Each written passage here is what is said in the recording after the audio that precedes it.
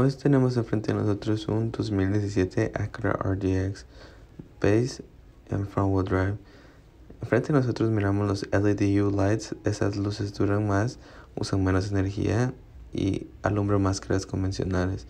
Moviéndonos para el lado miraremos esas rines de 19 pulgadas con esos colores grises que hacen ver el carro aún más deportivo. Este carro tiene incluido el blind spot information y unas cosas más. Tiene el sunroof. Ahora, enfrente de nosotros tenemos un Power Lift Gate. Quiere decir que es automático.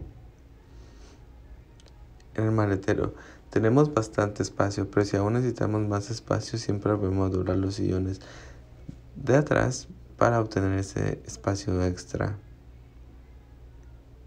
En la parte de adentro tenemos calentadores de asientos. En la parte de enfrente tenemos bastante espacio en la parte de atrás.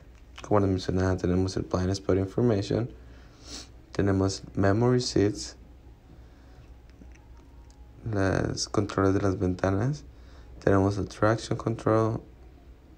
Un volante multifunción. En el lado izquierdo podremos contestar y cancelar llamadas y también activar nuestro sistema de sonido. En el lado derecho podremos activar nuestro Cruise Control Ahora, esta pantalla tendrá nuestro teléfono y el sistema de sonido organizado. También podremos ver el backup camera ahí. Ahora, tenemos para los CDs, para estaciones de radio. Todos estos botones serán para la pantalla de arriba. Esos controles para el sistema de aire acondicionado.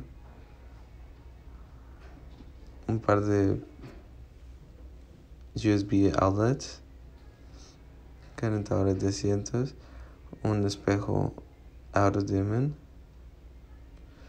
nuestro, y nuestro sunroof. si tienen más preguntas acerca de este otro vehículo, por favor denos una llamada o visite cualquiera de nuestras páginas que estarán apareciendo abajo en la descripción. Muchísimas gracias, espero esto les haya ayudado.